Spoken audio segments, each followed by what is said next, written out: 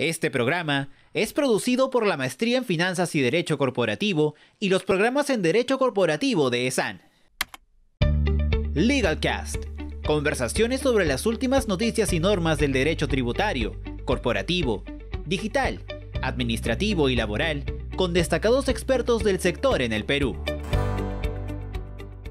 ¿Qué tal? Les saluda Roberto Casanova Regis, profesor de ESAN, en esta nueva edición de LegalCast de Derecho Tributario, nos acompaña el doctor Jorge Bravo Cucci, con quien tengo el placer de conversar y con quien vamos a discutir una serie de temas vinculados al convenio de intercambio de información celebrado eh, con Perú en el marco de la OCDE con 160 países.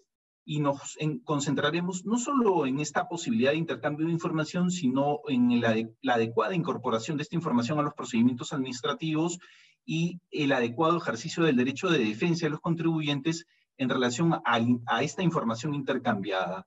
Eh, le damos la bienvenida al doctor Jorge Bravo Cucci y a quien le pido eh, su opinión en relación a este tema. Roberto, ¿qué tal? Un gusto de conversar contigo en esta plataforma muy interesante que nos permite intercambiar eh, informaciones y conocimientos e experiencias en materia tributaria. Como bien sabes, eh, el Foro Global de Transparencia e Intercambio de Información Tributaria de OCDE ya autorizó a, Perú a recibir información eh, en, esta, en este entramado de países y jurisdicciones que suman ya 161 jurisdicciones que están cooperando entre sí, ¿no? entregándose y recibiendo información. Bueno, como tú sabes, Perú ya em, ya estaba habilitado para entregar la información y lo que simplemente se esperaba es el semáforo de recepción de la información que ya a partir de, este año eh, está funcionando, pero en principio no de manera automática, sino bajo demanda. Recién es a partir del 2021 que Perú va a comenzar a recibir ya información automática. Entonces, respondiendo un poco tu, tu pregunta, yo definitivamente creo que esta es una herramienta muy potente, ¿no? Porque ¿qué información va a recibir SUNAT? ¿no? O ya está recibiendo inclusive. Es información financiera, bancaria e inclusive tributaria, de cuentas bancarias, de instrumentos financieros, de seguros, que, de, las mismas compañías que pudieran existir eh, en otros países y ser de titularidad pues, de residentes en el Perú. Entonces, si hay una causa que se está ventilando en el Tribunal Fiscal, eh, información relacionada a ese proceso podría efectivamente ser utilizada a los efectos de una defensa, inclusive por parte del contribuyente o, en todo caso, también por parte de la propia administración tributaria para robustecer su posición. Muchas gracias, Jorge. Sí, efectivamente, concuerdo contigo que el intercambio de información es una herramienta que va a permitir a la Administración Tributaria no solo robustecer su posición en materia de fiscalización tributaria con miras a combatir la evasión y la ilusión fiscal, sino eventualmente también a eh, poner al contribuyente en, un mayor, eh, en una mejor posición al momento de ejercer su derecho de defensa. Sin embargo, la preocupación que existe eh, en relación a estos intercambios de información es la siguiente, Jorge, y aquí es donde te traslado la pregunta, en muchos casos, la administración tributaria, cuando ejerce legalmente su facultad de fiscalización, lo que hace es acudir a las jurisdicciones o a las administraciones tributarias de otros países para solicitar, no solo en el marco de estos convenios de la OCDE, sino también en el marco de los procedimientos de intercambio de información establecidos en los convenios de doble imposición, información eventualmente vinculada al caso concreto que está siendo objeto de fiscalización en Perú. Y te pongo un ejemplo. Eh, hay casos que se están litigando en el Tribunal Fiscal en donde la Administración Tributaria ha desconocido la condición de beneficiario efectivo para la aplicación de los convenios de doble imposición y, en consecuencia la tasa reducida de retención de 15%, eh, sobre la base de haber obtenido información de las otras jurisdicciones, de las otras administraciones tributarias, y haber sobre dicha información eh, desconocido la aplicación del convenio eh, al desconocer la, la, calidad o condición de beneficiario efectivo de la contraparte no domiciliada.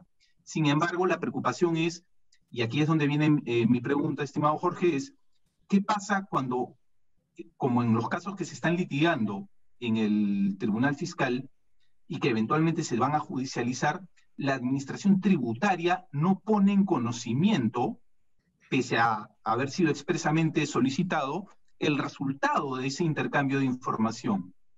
Correcto. Bueno, en ese caso, la administración tributaria estaría faltando a un principio fundamental en el derecho eh, peruano en general y administrativo en particular, que es el principio de verdad material.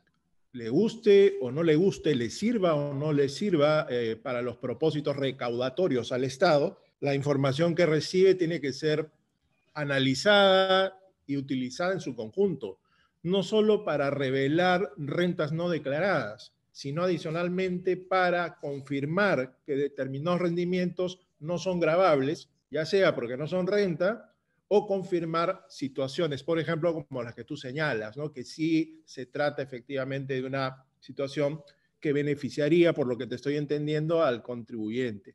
Eso es faltar al principio de verdad material, ¿no? y eso claramente eh, supondría una vulneración de la actuación de la administración tributaria a sus funciones dentro de un procedimiento administrativo. Sí, totalmente de acuerdo contigo, Jorge. y, lo trágico es que pese a que esta información obtenida a través de un intercambio eh, de información en el marco de todos estos convenios entre las administraciones tributarias, esta, esta información no es, eh, no solo no es puesta en conocimiento o, no se corre traslado al contribuyente para que pueda ejercer adecuadamente su derecho de defensa, o en todo caso, eh, o en el mejor de los casos, es interpretada, sesgada y parcialmente, porque la administración tributaria no, no al no revelar, no hacer el disclosure de toda esta información a favor del contribuyente, deja al contribuyente en un estado de indefensión, no solo por el contenido de la información, sino también porque creería yo, y, aquí nos interesa sobremanera tu opinión, Jorge, es que no siempre la administración tributaria sigue eh, los canales legales habilitados para hacer este pedido de información a las autoridades, este, eh, eh, autoridades este, fiscales no domiciliadas. Y el ejemplo o el caso concreto es, ¿qué pasa cuando la administración tributaria peruana obtiene información a través de un intercambio de, información, pero esta, este intercambio de información no ha seguido los canales legales establecidos, no solo en el marco de estos convenios, sino en el marco de los procedimientos establecidos en los convenios de doble imposición. Esto llevaría, y un poco eh, tocando el, principio de verdad material, a inhabilitar la calidad probatoria de, esto, de esta información así obtenida? Por supuesto, Roberto, de eso no cabe la menor duda, porque para eso efectivamente existen los convenios y existen los mecanismos que otorgan las seguridades del caso, porque estamos hablando de información sensible está protegida constitucionalmente en cada país con distinto em, grado de protección, pero protegida al fin, y por lo tanto cualquier manipulación de esa información o una extracción indebida puede generar claramente una vulneración a un derecho. Entonces, eh, llama poderosamente la atención que la administración tributaria, no solo peruana, sino de cualquier país, pudiera estar haciendo una obtención indebida de esta información. Porque para eso están los convenios. Perú no tiene muchos, pero tiene los convenios y esos convenios la habilitan a obtener información, pero oficialmente, ¿no? Y eh, no, lo mismo va a ocurrir y con mayor intensidad en la información que venga, pues, de esta herramienta de intercambio de información eh, producto del Foro Global de, Transparencia e Intercambio de Información Tributaria. Entonces, allí el, respeto a, las formas como la información se obtiene y el cuidado, sobre todo, Roberto, que Perú tiene que tener respecto a esa información, pues tiene la más alta intensidad y nivel de control. Claro, claro, Jorge, pero ahí es donde yo percibo que si bien es cierto, existen mecanismos acordados a nivel internacional entre administraciones tributarias, existen los mecanismos delineados por los convenios de doble imposición que celebrados por Perú, que son, como tú bien dices, son pocos. Lo cierto es que no hay en estricto regulado localmente eh, un procedimiento formal de, para transparentar e incorporar la información intercambiada dentro del procedimiento administrativo. Y cuando digo procedimiento administrativo me refiero al procedimiento de fiscalización, al procedimiento de reclamación, al de apelación, y eventualmente eh, se generan eh, eh, situaciones de indefensión en donde casos concretos que ya, como, como, como te digo por la experiencia profesional, ya están siendo objeto de litigio a nivel del tribunal fiscal, la administración tributaria ha incorporado criterios supuestamente obtenidos en el marco del intercambio de información y donde inclusive está validando posiciones eh, eh, de las administraciones tributarias del exterior contenidas en circulares, en circulares que ni aún en el país de origen califican como fuente de derecho. Y entonces eh, se están incorporando, por decirlo de alguna forma, eh, eh, indebidamente y sin seguir el procedimiento, procedimiento alguno estos razonamientos, estos, estos análisis eh, locales hechos por, las administraciones tributarias de los otros países sin seguir estos procedimientos reglados que, nuevamente hay una, tremenda ausencia de regulación en un tema tan sensible como es el intercambio de información y que parecería estar cubierto con este exceso de discrecionalidad por parte de la administración tributaria, ¿no? Perfecto, entiendo a, lo, que vas y la verdad te acompaño en esa preocupación, porque para comenzar sí debería existir un procedimiento de uso de esa información y a su vez también de acceso al contribuyente respecto del cual la información se está usando. ¿Por qué?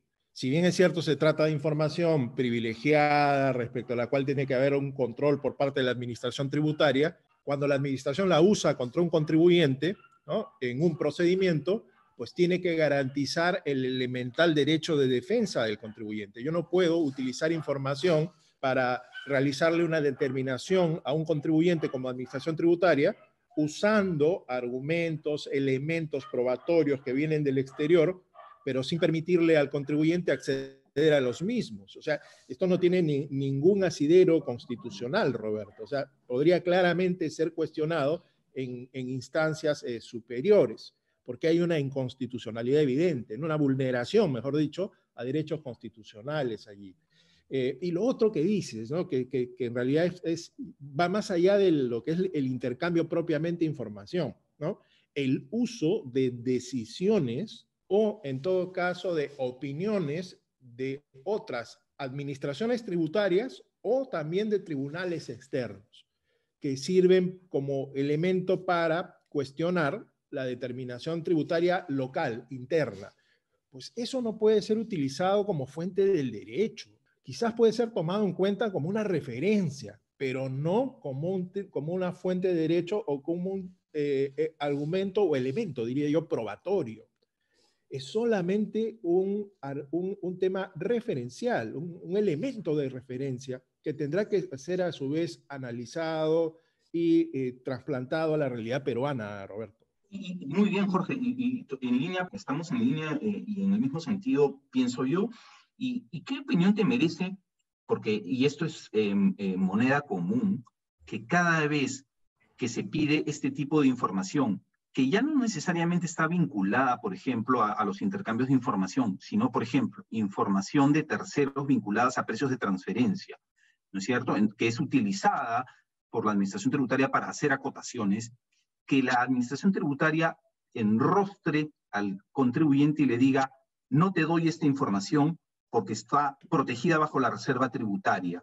¿Es oponible la reserva tributaria a un contribuyente por encima del libre ejercicio de su derecho de defensa? ¿Es eso, es eso posible? Eh, de ninguna manera es posible, ¿no? Porque aquí estás atentando contra un derecho fundamental de una persona, que es el derecho a defenderse. En consecuencia, tienes acá un, eh, en realidad un tema de ponderación, ¿no? Porque, por un lado, estamos, eh, estamos oponiendo, ¿no? La deber reserva que tiene el Estado, la reserva tributaria, versus el derecho que tiene el ciudadano a defenderse respecto de una imputación. Entonces, si tú haces una ponderación, yo lo que creo aquí que va a terminar definitivamente siendo agredido el derecho de defensa. porque en realidad, ¿cómo puede una administración tributaria imputar un incumplimiento de un contribuyente sin permitirle defenderse respecto de la imputación? O es claramente vulneratorio esto, ¿no? Eh, ¿Sabes qué? Yo creo que la reserva tributaria, así como el secreto bancario también eh, lo tiene, eh, tienen matices y esos matices tienen efectivamente que ser desarrollados. Y uno de esos matices es este. Es cierto, o sea, hay información que tú tienes que mantener como administración tributaria en reserva, pero eso tiene excepciones. Si estás usando esa información para hacer una imputación tributaria a un contribuyente, pues permítele el derecho de defenderse respecto a esa imputación, eh, mostrándole la misma, ¿no? Sí, es correcto, Jorge. Y, lo que indicas, en mi opinión, reviste una mayor gravedad y un mayor riesgo, porque, eh, como tú bien sabes, existe ahora, y con independencia de la corrección o la inconstitucionalidad o no en su aplicación, la cláusula antielusiva general reforzada, ¿no? ¿No es cierto? Que no solo va a generar acotaciones a los contribuyentes, sino eventualmente la atribución de responsabilidad solidaria tributaria patrimonial a nivel personal. Y entonces, si le hacen la acotación a una sociedad, a una empresa que mal ha podido defenderse porque no ha contado con todos los elementos adecuados de intercambio de información, de puesta a disposición de la información intercambiada para ejercicio de su derecho de defensa, inmediatamente se va a derivar en responsabilidad eh, tributaria personal a los representantes legales y miembros del directorio, con lo cual la situación se vuelve cada vez más, más clamorosa, más apremiante, ¿no? En, en donde la incorporación de esta información, que si bien es cierto, puede ser válidamente incorporada dentro del procedimiento administrativo para efectos de robustecer la posición de la administración tributaria, concuerdo contigo, debería necesariamente ser no solo incorporada adecuadamente siguiendo un procedimiento legalmente establecido, sino también habilitando el pleno ejercicio del derecho de defensa del contribuyente, más aún si esta información intercambiada puede formar parte, ¿no es cierto?, de eh, la información con la que va a contar el auditor fiscal para poder hacer su informe que finalmente será confirmado por el comité revisor y que, según se ha establecido en la modificación del artículo 62C, es, una, es un informe que es inapelable, incuestionable, ¿no? Es correcto, ¿no? Y esto, ¿sabes qué, Roberto? Nos lleva a una, a una constatación. O en todo caso, a una confirmación. Y es que eh, pareciera ser que esta información eh, se estaría pensando, esta información que se recibe, se estaría pensando con un propósito eh, más bien negativo, ¿no? Es decir, utilizar en casos en los cuales hay ilusión, utilizarlo en casos en los cuales en general hay incumplimiento. No está mal que se use en, eso, en ese objetivo, pero yo creo que debería tenerse una visión mucho más amplia. El Estado lo que tiene que tener es que esa información no solo le sirva para encontrar a personas naturales o jurídicas que están en situación de incumplimiento, sino más bien para entender aquellos casos en los cuales situaciones de aparente incumplimiento terminan quedando absolutamente aclaradas con la información que se está recibiendo del exterior. O sea, esa mayor información no debe ser simplemente usada para detectar incumplimientos, sino para entender la situación tributaria de todos los contribuyentes. Es un poco lo que creo yo. Correcto, correcto, totalmente, totalmente de acuerdo, Jorge. y finalmente, ¿creerías que una o que la eventual afectación del derecho de defensa, por, no solo por la eventual mala incorporación de, la información intercambiada en los procedimientos administrativos, sino por la eventual afectación del, libre ejercicio del derecho de defensa de los contribuyentes, habilitaría a irnos en la vía judicial del amparo. Y, te comento esto porque eh, a raíz de una una cuestionada sentencia del Tribunal Constitucional reciente, parecería ser que de un tiempo a esta parte se generan ollas de presión mediática y lejos de resolverse los temas con cierto sentido técnico, y no, con esto no digo que el Tribunal Constitucional no tenga eh, la facultad de poder resolver eh, con cierto criterio político también los temas, pero terminan pues exacerbándose posiciones este, antitécnicas totalmente eh, inaceptables en temas patrimoniales, ¿no? En donde, porque los, los tributos, los impuestos terminan afectando la propiedad del patrimonio de las personas y no, y, de manera excesiva, ¿no? Entonces, afirmaciones eh, poco, poco, vamos a decirlo así, adecuadas de, magistrados del Tribunal eh, Constitucional en relación a, a, a, la, sentencia o a los efectos de la prescripción en donde por el solo hecho de que se acumulen deudas, ingentes intereses por demora en, los plazos de resolución de la administración, terminan siendo pues este, confirmadas.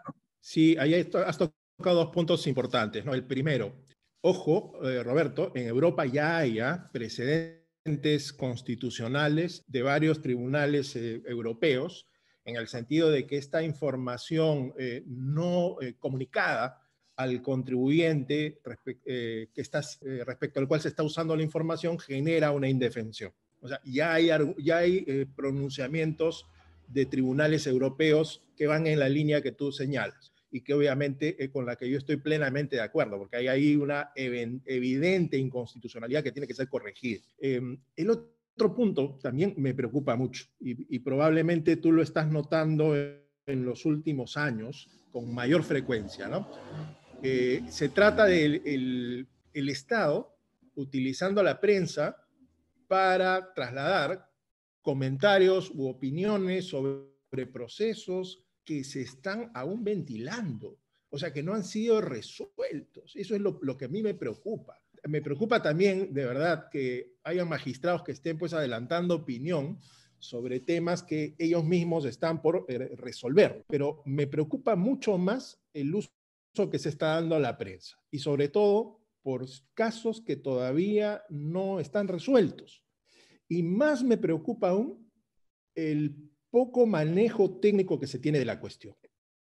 Cuando uno revisa, y yo he dado opiniones eh, en, en, redes sociales al respecto muy preocupado, cuando uno revisa las opiniones, voy a poner el caso que tú has mencionado, ¿no? de esta sentencia sobre el tema de la, de la prescripción un par de semanas antes, opiniones en prensa. Dios mío, no había ningún sustento técnico a lo que se estaba diciendo. O sea, no estoy diciendo a favor o en contra, eh, estoy hablando de un eh, entendimiento técnico del tema que se estaba eh, analizando en el Tribunal Constitucional. La verdad, un análisis muy, muy poco técnico y que en realidad desinforma al contribuyente, ¿no? generando corrientes de opinión que en un caso en el cual todavía no hay resolución, pues no debería eh, existir, ¿no? Debería dejarse que al Tribunal Constitucional, a la Corte Suprema o al órgano que corresponda, absoluta tranquilidad para que resuelvan técnicamente y no tener esas presiones mediáticas de las que tú estás hablando y a mí realmente cada vez me preocupan más. ¿no? Esto es una reflexión general que creo ambos hacemos y que debería a su vez este, permitir una eh, eh, que en general dejemos a los órganos que administran justicia, pues hacerlo en pausa, en paz y con tranquilidad. Sí, porque parecería, así es Jorge, porque parecería ser que con pronunciamientos eh, jurisdiccionales sesgados por la presión mediática, parecería ser que se estarían cerrando las puertas incluso de los procesos de amparo, ¿no? Porque si al final del día el destino del derecho que está en discusión va a ser decidido sobre la base no constitucional, sino sobre la base de un criterio mediático, de presión mediática, este, ya pues eh, nos movemos pues o nos alejamos pues del Estado de Derecho, ¿no? Y eso, y eso concuerdo contigo, es, es lo más preocupante, ¿no? Más aún cuando de un tiempo a esta parte, y quizás generado por, por la coyuntura, procedimientos administrativos llevados a nivel de tribunal fiscal con buen pronóstico, en sentido técnico, están siendo de alguna forma arbitrariamente confirmados por el tribunal fiscal eh, con miras a generar la inmediata recaudación, porque sabemos pues que inmediatamente se activa la cobranza coactiva y si el contribuyente no paga, este, se le traban las medidas cautelares, ¿no? Con lo cual se termina imposando de manera ineficiente tributos que finalmente van a tener que ser discutidos en sede judicial con el riesgo de que finalmente puedan ser resueltos a nivel constitucional con un criterio mediático de presión y no, como tú bien indicas, con la tranquilidad y la distancia que un órgano jurisdiccional debe tomar respecto a las causas objeto de eh, análisis. Así es, y sabes que también como un tema final que no, es menor tampoco, se crea una falsa expectativa en la población, ¿no? porque eh, si uno lee la, las noticias, y hablo de casi todos los medios periodísticos, y no sabe nada de tributario o no está eh, enterado muy bien de la cuestión, podría pensar que hay un grupo de contribuyentes que le deben pagar ahora mismo al Estado 11 mil millones de soles. Cuando en el fondo, los que somos abogados sabemos que eso no va a pasar por varias razones. Una de ellas es que la deuda todavía no es exigible porque está en litigios válidamente planteados por los contribuyentes y que son de distinto tipo y que muy difícilmente, yo diría, es imposible que después de haberse demorado más de 10 años el Estado en eh, resolver estas controversias, pues resuelva todas ahora en diciembre. Realmente se está dando un pésimo mensaje a la población, porque no es que se trate de deuda exigible, es deuda que en todo caso no habrá prescrito, pero se está, vincul se está litigando en diversas instancias, en diversas instancias. Y yo no creo que en realidad ya sería preocupante esto, que el Estado piense que las va a ganar en todas, ¿no? Porque para eso estaríamos este, en realidad diciendo que, que, no hay, que no hay siquiera necesidad de ir a la justicia. E, exactamente, más aún cuando mucha de esta deuda, que no es deuda exigible, como tú bien indicas, Jorge, es deuda que en algunas instancias tiene pronunciamientos favorables. Con lo cual es, es, este, es, es increíble que, que, que, como, te digo, como tú bien indicas, que se genere esta falsa expectativa. Ex excelente, Jorge. Yo quería eh, agradecerte eh, eh, agradecer tu participación y, y, y, como en, otros, en otras oportunidades, este, encantado de conversar contigo. La verdad que muchas gracias, Jorge. Muchas gracias a ti, Roberto, y seguimos en contacto. Un gusto de haber conversado contigo. Igualmente, un fuerte abrazo, Jorge. LegalCast. Conversaciones sobre las últimas noticias y normas del derecho tributario, corporativo, digital, administrativo y laboral, con destacados expertos del sector en el Perú.